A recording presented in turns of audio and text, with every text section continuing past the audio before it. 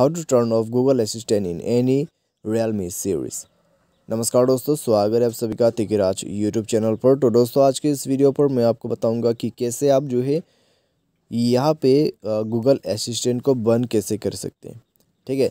तो बिल्कुल आसान तरीका है दोस्तों इसको बंद करने का, क्योंकि दोस्तों हम कभी कभार एक सेटिंग कर देते हैं, वो सेटिंग की वजह से हमारा जो गूगल असिस्टेंट है, वो बार बार वेकअप होते रहते हैं। अभी दोस्तों उसको कैसे बंद करना है, मैं आपको वही सेटिंग इस वीडियो पर बताने वाला हूँ। ठीक है तो वीडियो को पूरा देखें और सेटिंग को फॉलो करें।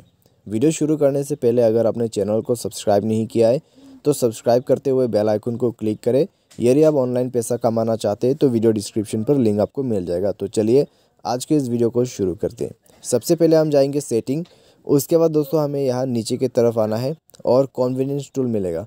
कॉन्वीनियंस टूल पर जाने के बाद आपको मिलेगा वो एक Google assistant with power button तो आपको ये बंद कर देना है, ठीक है? उसके बाद दोस्तों यहाँ पर और सेटिंग्स शायद आपको नहीं मिलेगा।